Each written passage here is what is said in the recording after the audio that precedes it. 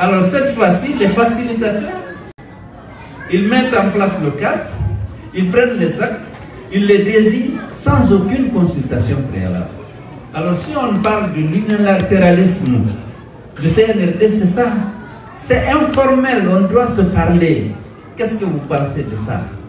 Avant même de poser les actes, ils ont tout décidé à leur niveau. Ils ont choisi les facilitatrices. Parce que Détroit était des femmes cette fois-ci. Ils ont pris des actes. C'est lorsque le décret a été publié qu'on a été au courant. On a dit non. Le rôle des facilitateurs, c'est d'aider à planir les divergences entre les deux groupes. Or, le dialogue met en face pour nous le gouvernement et le CNRD d'un côté, les partis politiques de l'autre, en présence de la société civile et du G5. C'est le cadre qu'on avait. J'ai dit, si on doit, parce qu'on ne nous a même pas informé qu'on désigne des facilitateurs. Pour nous, c'est le médiateur de la CDAO qui doit présider, il va s'entourer d'experts électoraux et des experts dans toutes les matières. Et puis, ils vont, avec le G5, ils vont essayer de confronter les, les positions des deux groupes.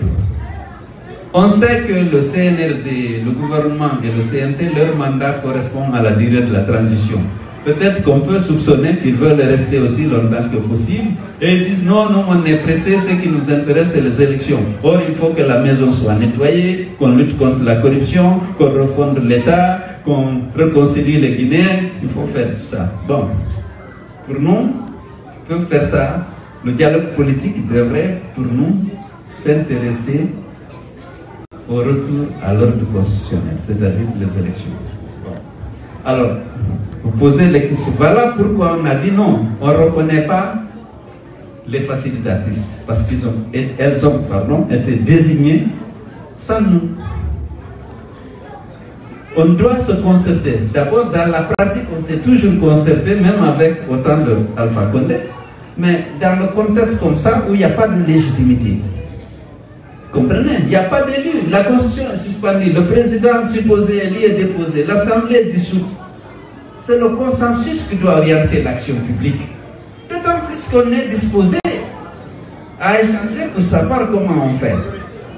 Donc, voilà la raison vous posez la question. On a dit, on ne reconnaît pas ces gens, ils devraient, parce que le pouvoir qui est parti les a désignés et pour être facilitateurs. Et demain, ils vont être, elles vont être appelées à se prononcer sur un conflit qui existe entre les deux parties au dialogue.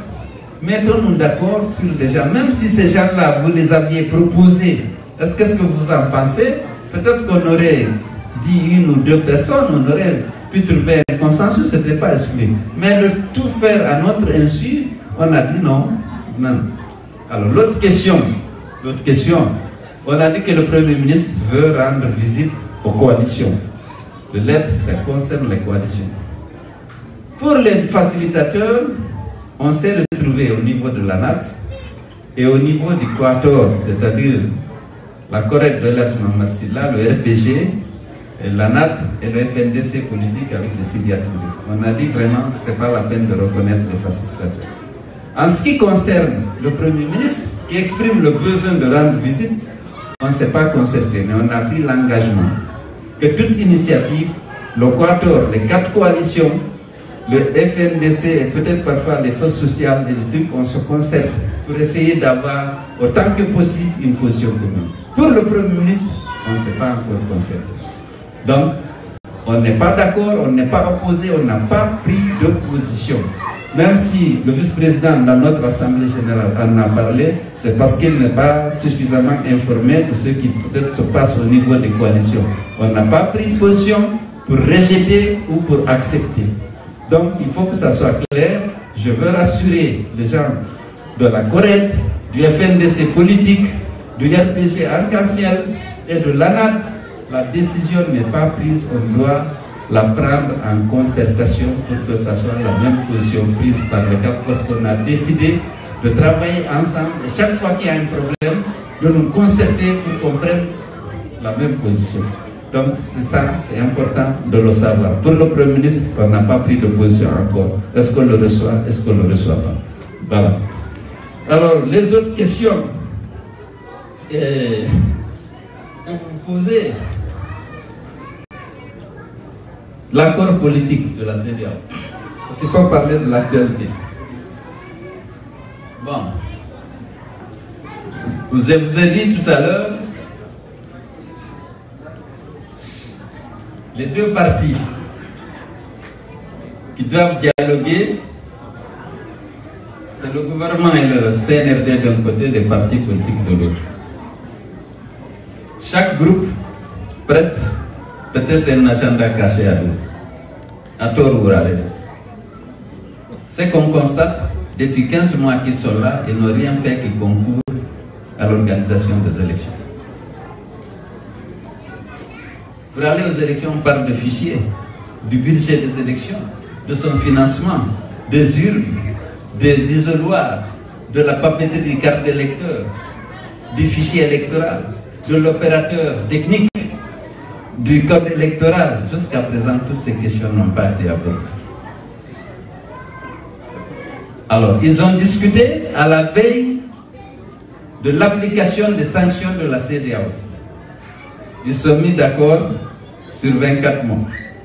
S'il n'y avait pas d'accord, les sanctions tombaient le lendemain ou le surlendemain.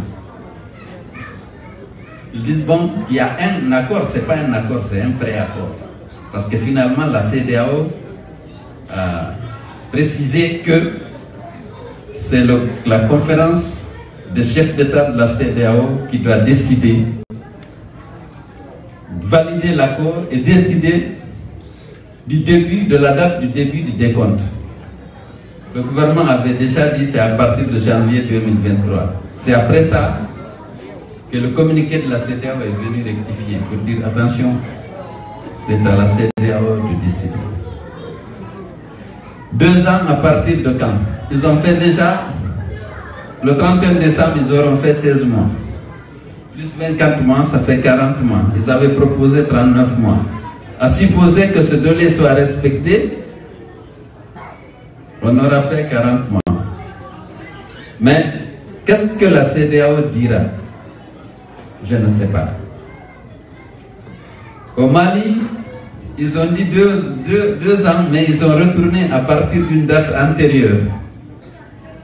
Le pouvoir avait dit que c'est à partir du 11 mai que la transition commence, la date où, la date à laquelle le CNT avait validé les 36 mois.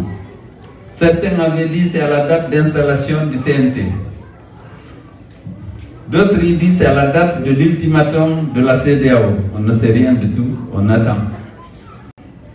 Ce qui est constant, c'est que pendant 15 mois, 16 mois bientôt, on n'aura rien fait pour aller vers les élections. On a parlé de réconciliation, on parle de refondation de l'État, de lutte contre la corruption.